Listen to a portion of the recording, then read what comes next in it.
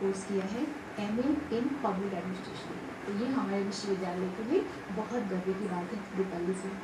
क्या सभी वर्ग के जो स्टूडेंट्स हैं, वो इसमें भाग ले सकते हैं, सभी कर सकते हैं ये प्रोसेस